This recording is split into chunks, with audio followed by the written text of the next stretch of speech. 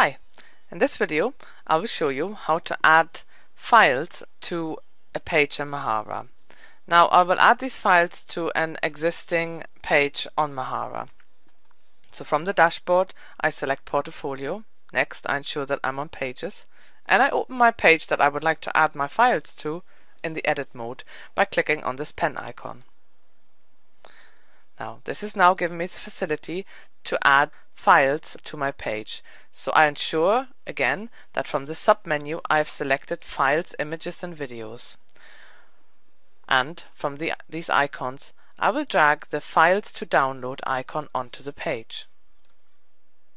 Now again, please give this a meaningful title. In my case it is files as supporting evidence.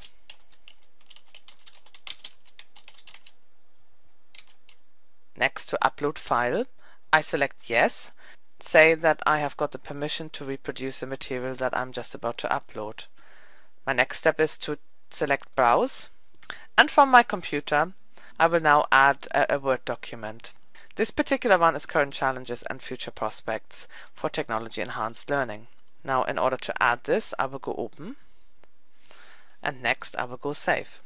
Obviously you will have different types of files that you will add to your portfolio as supporting evidence. Again, if you don't like the location where this item has been placed and you would like to rearrange it, perhaps onto the top of this page, hover over the title and drag it, drag and drop it to its new location.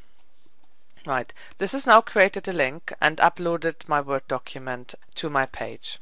So to finalize this, once I'm happy with it, I select Done. And just to check that these files are now part of this page, I go back to my page in Mahara and will find this a link to my document on my page. Thanks.